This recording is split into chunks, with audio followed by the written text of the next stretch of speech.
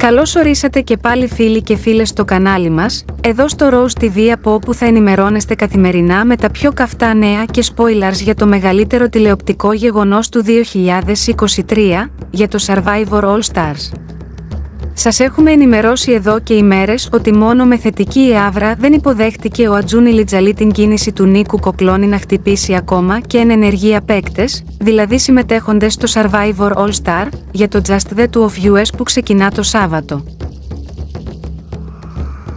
και μπορεί η οργή του Τούρκου να εκφράστηκε πρώτα προς τους συνεργάτες του στην Ελλάδα που επέτρεψαν μια τέτοια εξέλιξη, ωστόσο στη συνέχεια προχώρησε και στη νομική διαδικασία, στέλνοντας εξώδικο προς τον Κοκλώνη, σε μια προσπάθεια να μπλοκάρει τη συμμετοχή, τουλάχιστον του Περικλή Κονδυλάτου. Υπενθυμίζουμε πως το Just The Two of US θα συμμετέχουν. Άρης Σοηλέδης, ζευγάρι με τη Μαριάντα Πιερίδη, όπου με την Εύα Δρούτσα, ο Τριαντάφυλλος, η Ναυσικά Παναγιωτακοπούλου, ο Περικλής Κονδυλάτος, ο Γιώργος Κοψιδάς και η Φελίσια Λιαπάτη.